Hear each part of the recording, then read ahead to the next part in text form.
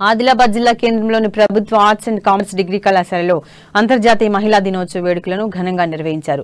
విద్యార్థులకు విద్యాబుద్ధులు నేర్పి మంచిగా తీర్చిదిద్దుతున్న కళాశాల ప్రిన్సిపాల్ అనితతో పాటు అధ్యాపకురాలను శాల్వాలు కప్పి సందర్భంగా ఘనంగా సన్మానించారు.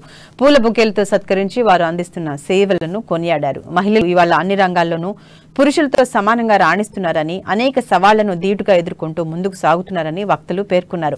ఎక్కడా కూడా వెనుకడుగు వేయొద్దని ధైర్యంతో తాము అనుకున్న లక్ష్యాన్ని చేరుకోవాలని పిలుపునిచ్చారు.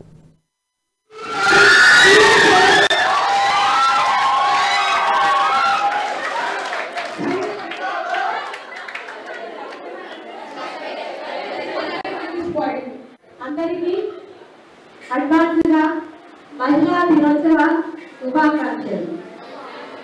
ముందుగా మనకి కాలుతుంది అని తెలిసిన మనం గరిటలు పడుతున్నాం అదేవిధంగా తెగుతుంది అని తెలిసిన కత్తులు పడుతున్నాం ప్రాణం పోతుంది అని తెలిసిన మన దృష్టికి ప్రాణం కోరుతున్నాం ఆ- విధంగా కాకుండా ఇదే మన సమలత ఇదే మన స్థాయి. మనకు అంత సవాలు ఉన్నప్పటికీ మనం ఎదుర్కొంటున్నాం. ఆ ఎదుర్కొంటూ మన ఇల్లును వాకిళ్ళను వదిలేసి మనం అన్ని రకాల్లో ఉన్నాం.